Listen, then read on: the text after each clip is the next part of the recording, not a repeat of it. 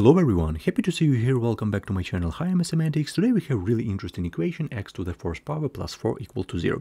And one student wrote this type of comment under my post about this question. So as you can see, a lot of students have a lot of difficulties with this with this type of question. So right now let's try to figure out, let's try to look at it, how can you solve this correctly and step by step. You can also pause the video and write a solution down into the comment section and then we will check our answers. So first of all, according to the fundamental theorem of algebra, we will have four roots, like complex roots and real roots, okay? So it's really important step right now. Okay, right now I'm going to show you a really great trick. Just look at it. So first of all, I'm going to rewrite this expression. So we have right here x to the fourth power plus 4 and right now I'm going to add to this expression 4x squared, okay? I'm going to add it 4x squared and we're going to subtract it, so minus 4x squared. Basically it changed nothing. So this expression equal to equal to 0, so as a result we will have absolutely the same expression as in the beginning. But right now let's group, let's group this 4x squared with this expression and leave this minus 4x squared in the end. Let's do this right now. So as a result what we will have? We will have x to the fourth power, okay, x to the fourth power. Then I think we're gonna write this one plus 4x squared, okay? So plus 4x squared. Then I think we're gonna write 4 plus 4 and the last we have minus 4x squared. So minus 4x squared equal to 0. Right now we have all the time right here addition, so right now let's group it. So let's group this expression right here. Okay, and if you look closely, this is our basic school formula. We have x squared plus 2 squared. Okay, so as a result, this expression is equal to x squared plus 2 and we're gonna raise this to the second power. If you don't trust me, you can easily raise this to the second power according to the basic basic school identity. And we have right here minus, but instead of this 4x squared, let's write this thing. Let's write 2x to the second power, okay?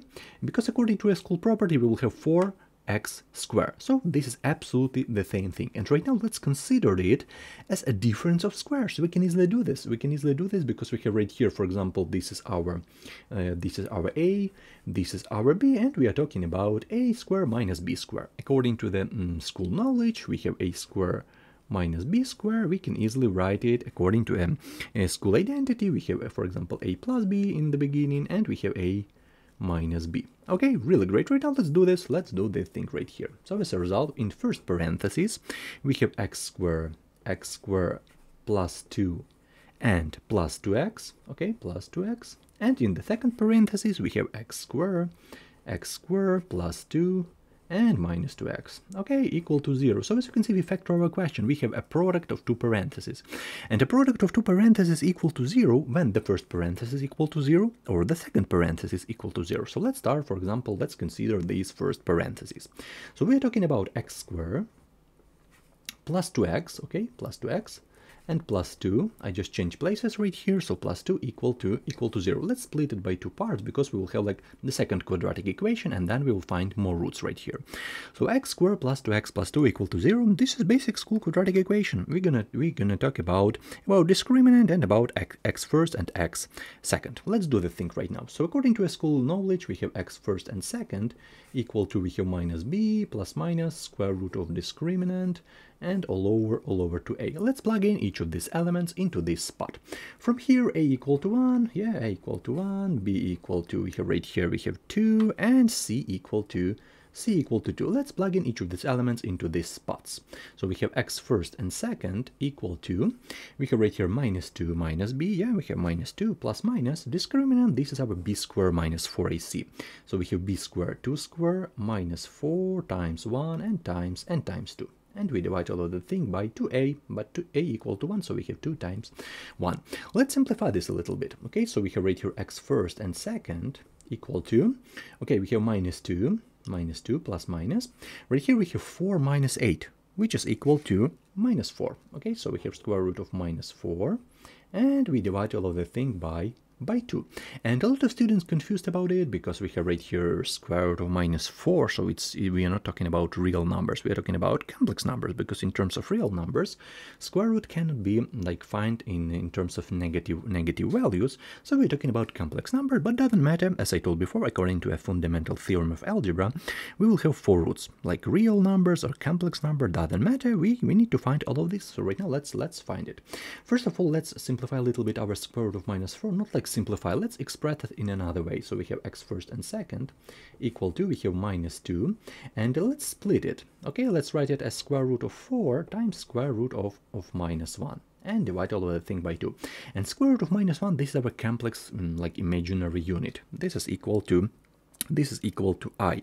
So as a result, x first and x second, x first and second equal to, we have minus 2 plus minus, square root of 4 equal to 2, we have right here i, and we divide by, by 2. Right now, the final tricky move right here, we will have like a great and uh, like perfect answer. So x first and second equal to, we have right here minus 1 plus minus plus minus i, minus 1 plus minus i. And these are our two complex roots we have right here. I doesn't matter we have complex root let's let's try to find this. Let's try to solve this equation. Let's try to solve this one. So we have right here x squared minus 2x and plus 2 equal to equal to 0 right now let's find according to the according to the same uh, algorithm let's find this x third and x fourth according to this same formula. We have right here minus b. We have not minus 2 but 2 plus minus square root of discriminant. We have right here minus 2 square minus 4 times 1 times 2 minus 4 times 1 times 2 and we divide all of this expression by 2 times 1, so the same thing. Right now we have x third and fourth, third and fourth equal to, we have right here 2 plus minus square root of, it will be like the same thing as before because we are talking about the same discriminant. Uh, one difference is this minus, but it like doesn't matter right here because we have square, so as a result we'll have absolutely the same discriminant, square root of minus 4. And we divide all of these by, by 2. Really great. x third and x third and fourth equal to, we have here 2 plus minus, the same algorithm as before, we have square root of 4 times square root of minus 1, and as a result we divide it by 2. So x third and fourth equal to 2 plus minus 2i, and we divide all of this by 2. So the last thing, we divide both parts, numerator and denominator by 2. So our x third and fourth equal to 1 plus minus 1 plus minus i. 1 plus minus i. And a lot of students ask me about uh, the amount of roots right here and then I add uh, then I answer them. Okay in the beginning we had x to the fourth power. So according to a fundamental theorem of algebra so let's just rewrite this question. So in the beginning we had we had x to the fourth plus 4 equal to 0 okay? We have the, the, the, maximum power so we have right here forced power. It took its uh, us about uh, the amount of roots because according to a fundamental theorem of algebra for example imagine we have like uh, x third we are talking about three roots okay? Three roots at least yeah? Three three roots we don't know how many like complex roots, how many real number roots, but we are talking about three roots. This is like a maximum amount of roots.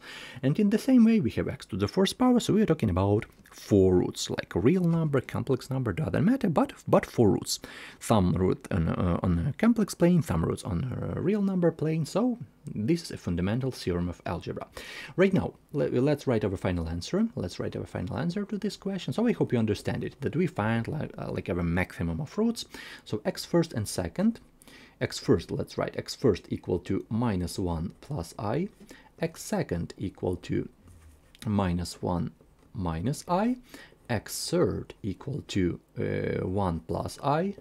And x fourth equal to 1 minus i really great. So this is our final answer. This is all of the all, all roots right here. We don't find like one of these.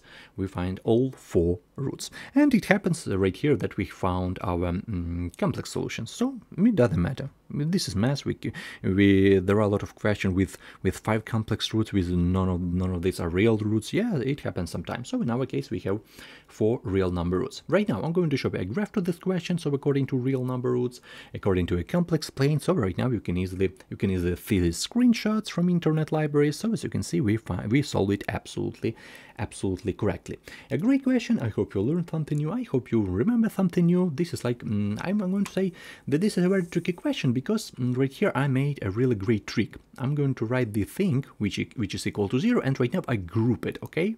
Uh, I group it, uh, group these elements with uh, with this part, and this will leave it like that on the right side. So in in this step, so this is like a first trick right here. Okay, first trick, and this is like a second trick. This is not like a trick. This is like basic school identity difference of difference of squares. So i hope you i hope you understand it.